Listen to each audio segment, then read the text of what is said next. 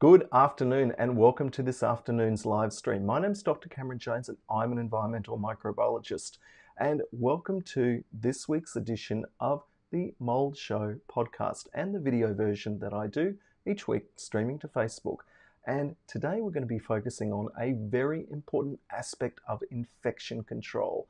And the reason that infection control is absolutely so important is obviously we need to make sure that our homes and businesses don't have mold problems, but increasingly importantly, with the COVID 19 crisis and pandemic that's sweeping the world, we need to ensure that our businesses and workplaces are COVID safe. And so last week, I looked at how we can use fluorescent brighteners to determine whether or not cleaners have done a really good job. And the reason that this is particularly important is that you might have heard in the media something called deep cleaning. And deep cleaning really is another word for being very careful when the cleaning process is being undertaken. And the reason for that is that it is possible to uh, decontaminate or disinfect hard surfaces and more porous surfaces in the environment because this issue of shedding of viable virus particles into our workspaces and homes is entirely plausible. And in fact, there's some excellent literature evidence to support the fact that the transmission of the virus can occur not just through droplet spread, talking or singing or coming into contact with someone who is coughing or sneezing, but these virus particles are shed into the environment. And last week, we looked at one way of validating cleaning because as we move towards COVID safe workplaces, it's going to be a responsibility and probably increasingly a legal compliance requirement to ensure that workplaces have done a really good job of cleaning themselves.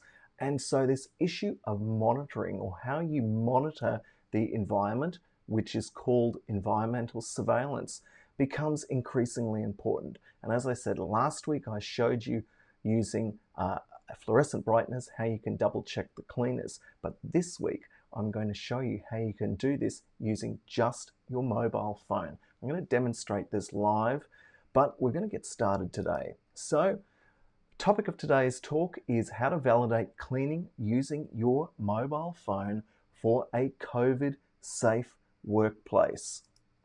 And what I want to do at this point in time is suggest to you that what are the gyms, for example, going to look like in future? So we're talking about something now called the new normal. Now, certainly in Australia, gymnasiums have not been allowed to reopen yet, but in Hong Kong, there have been some gyms which have opened up this week. And so, what are they going to look like? Well, in Hong Kong, they've had to install partitions on between the treadmills, as you can see, so that people are actually maintaining this social distancing uh, issue. And this is fundamental to limiting the person to person transmission, as I said, via droplet spread or via uh, droplet distribution onto surfaces, which turn into something called fomites, which we've gone on about at length on these shows each week. And then these fomites can then be picked up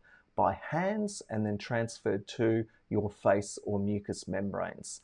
And so, one thing I want to focus on now is how do you check up on your cleaners? Well, last week I talked about buying an ultraviolet light and buying some fluorescent brighteners, and I went out and I actually did this. And at my other laboratory, I showed you actually how we can validate cleaning and also demonstrate the surface to uh, face transmission using these ultraviolet or photosensitive powders to uh, be reacting with ultraviolet light to demonstrate just how easy it is to cross contaminate the local environment.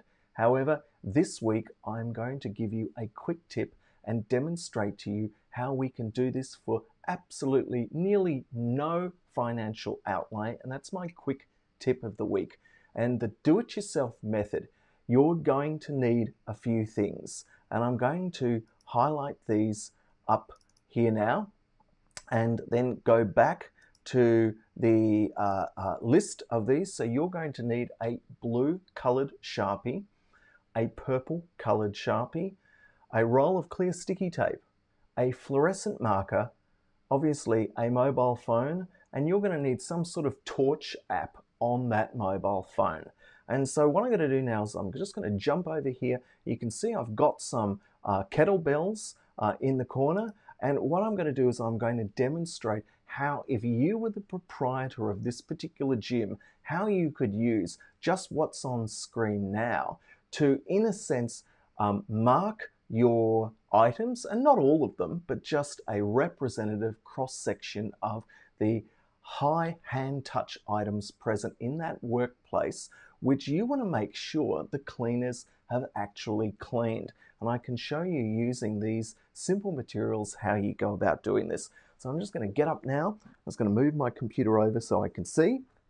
And I'm going to show you how we use this. So to just give you an idea of this, this is a um, UV torch uh, which you can uh, use. And obviously this is what we used last week. I used a lamp version, but I want to show you how essentially what we're going to do is we're going to take advantage of the fact that mobile phones have a uh, flash and that flash can of course be covered with something to make a lens and we're going to make a simple ultraviolet lens today and then I'm going to show you how we can then use this to uh, mark some of these items uh, to work out whether or not they have been effectively cleaned. And so all we need to do is you're going to need this is some simple physics now. So you're going to need a blue colored Sharpie. And what we're going to do is we're just going to take a little piece of tape and we're going to place that over the flash like this.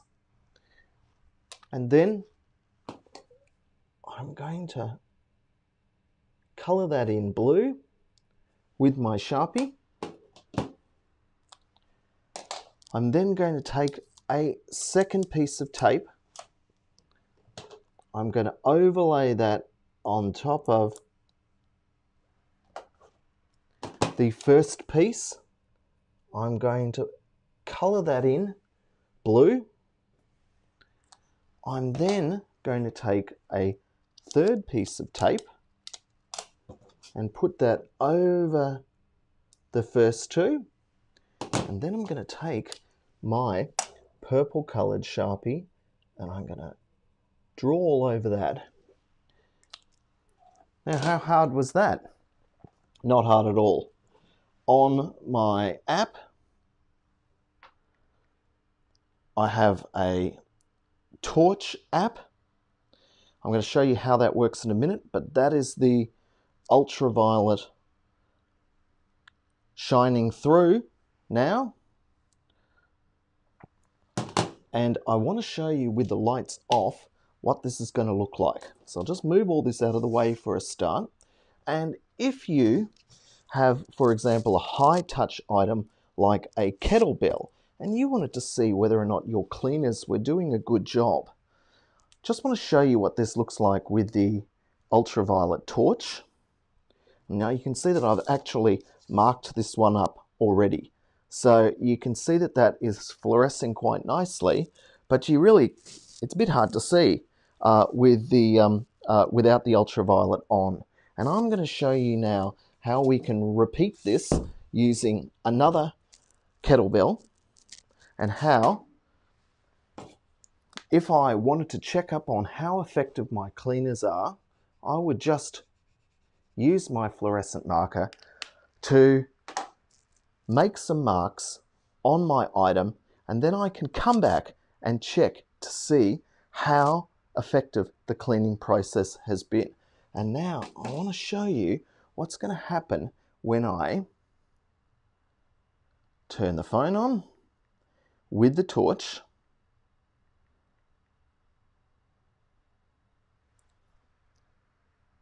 Now, I just might have to orient this. So there you go.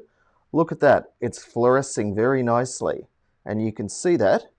And what's interesting is that I can also use my camera to take photographs of this.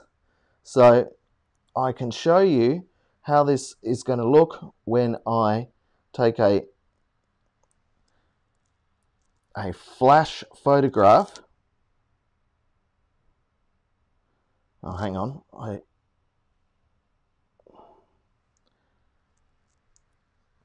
Here you go. And so that shows you how you can use very simple items to make sure that your cleaners have actually done a good job using a Sharpie, a blue and a purple colored highlighter and an app on your mobile phone. So, if we move on from here, last week I told you that uh, I was waiting for a paper to be peer reviewed and accepted. Well, this week it was. Uh, it came back from the reviewers, and uh, here is the uh, final version of this. Now, I've put the title of the paper up, uh, and basically, this is a survey which I did on a cross section of the Australian population to get their th- thoughts around environmental surface testing. And this is a really, really, really important topic because as we move towards what I said at the start of this, the new normal, it's going to be very important that we do not only testing of people to ensure that they're not carriers of the virus or actually uh, cases, sick cases with the uh, illness, but we need to make sure that our workplaces are going to be uh, safe and secure. And so I just want to put it up here that there is a lot of information in this survey about various different aspects of uh, occupational health and safety as this uh, pertains to the workplace. But the key thing that I wanted to uh, uh tell you about is that it is very, very, very easy. You don't need a specific ultraviolet torch. All you need is your phone, some sticky tape, and the ability to judiciously mark certain items in your workplace and then check to see that this fluorescent mark is no longer present. Because if it's no longer present and you have made sure that your cleaners have used a disinfectant which is approved to work against the SARS CoV 2 virus, well, you can double check to make sure that those items have in fact been effectively cleaned. And that is going to become fundamental to maintaining a COVID safe workplace. In any case, my name is Dr. Cameron Jones. I hope you found this of use. If you have, feel free to leave me a comment or share it, and I will be back next week with more information about infection control and mold and COVID 19. In any case, bye for now. Stay safe and have a great week. Bye.